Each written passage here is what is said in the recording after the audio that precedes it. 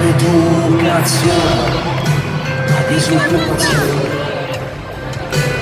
è da realizzare ed ogni tua reazione ha un gesto di passione, la vita, l'attenzione, io resto qui a guardare, anzi ad osservare